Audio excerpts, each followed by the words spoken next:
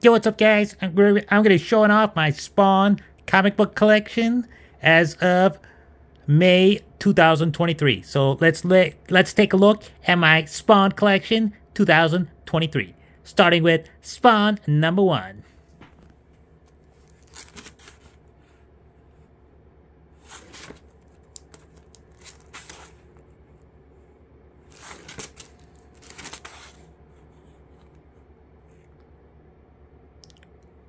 Signed by Todd McFarlane.